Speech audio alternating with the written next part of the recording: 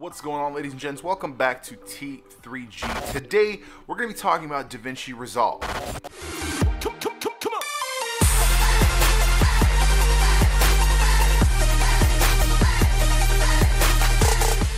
Now I'm not switching over maybe, I don't know yet really, but we're going to take a look to see what it offers, what features it has, what it's missing, and if it can really replace Premiere. Uh, I'm about to edit last week's vlog and uh, we'll see how it works. I'm not going to screen record because in general I edit on two screens and DaVinci Resolve actually has a dual display mode so I was real excited to see that and uh, yeah let's check that out.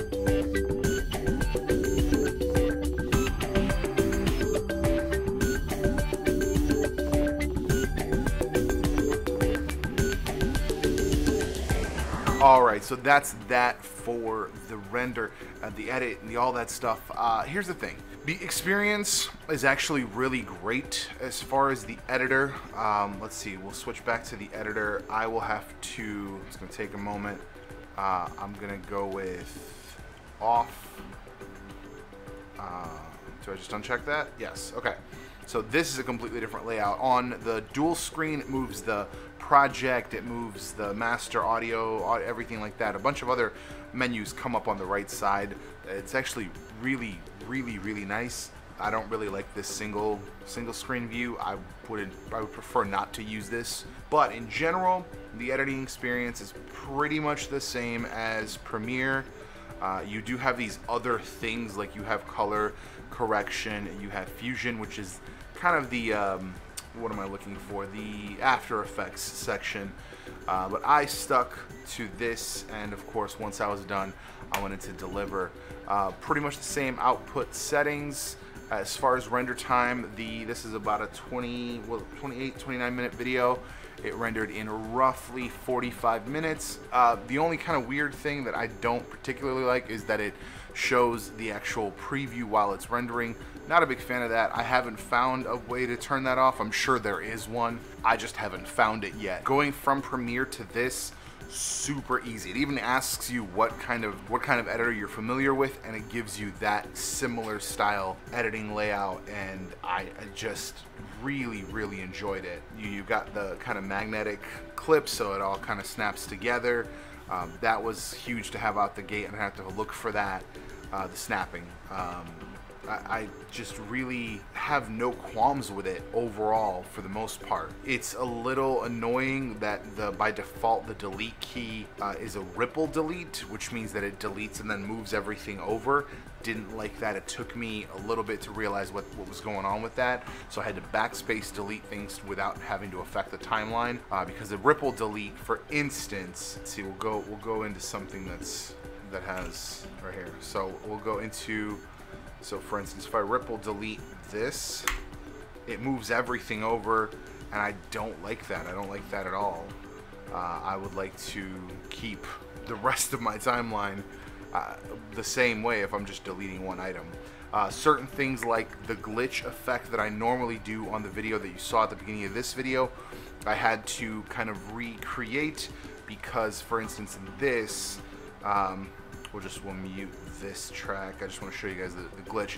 Uh, the glitch you saw at the beginning of this video is different than your, what you're about to see here, right? So, so I had to create that that kind of weirdness to make it similar because I, I actually couldn't uh, because I did a little bit of research and found out that there's plugins involved to actually get like the glitch effect that I use.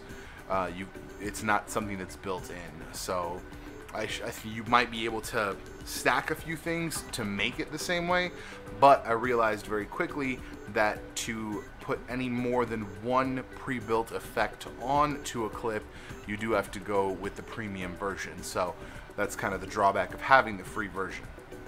Overall, I don't think I really suffered as far as my my editing time. I think the the time it took me to edit this video is the same time it would have taken me to edit it in uh, Premiere. The only weirdness that was kind of like really strange that didn't make sense was that I had a clip uh, that that had this clip right here, the the Let's Talk About It clip. If you watch the, the vlog channel, that's just like a segment that I do on the vlog. Um, and the original clip didn't have audio. I put the whole video in, didn't have audio, so I actually had to switch computers, go into Premiere, and export just the short clip that I needed, um, which I guess is kind of better for, for me in the long run anyway, just so because I'll have that clip ready. But it, it's it just didn't have audio. It, it never picked it up. I, I, don't know. I don't know why. Really, there was no error or anything like that. So that was kind of the only weird thing.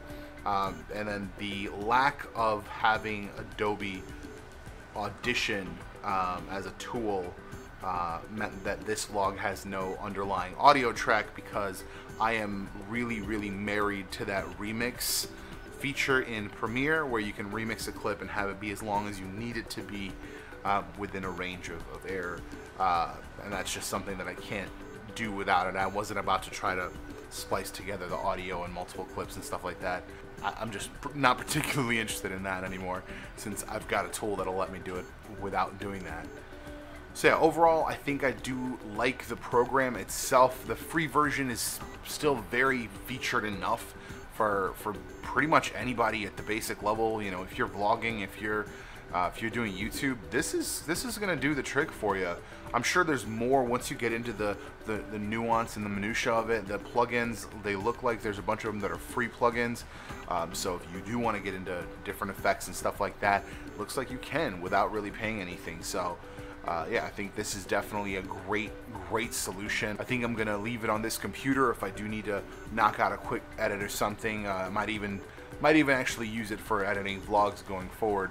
Um, although I do like that audio feature, so you know we'll see. We'll see what happens. Uh, but that's gonna be it for this one. Thank you for watching. Make sure you guys like, subscribe. If you have any questions about DaVinci Resolve, if you have any ideas about what other apps I should try out, make sure you drop that down in the comments, and uh, we'll see you in the next one.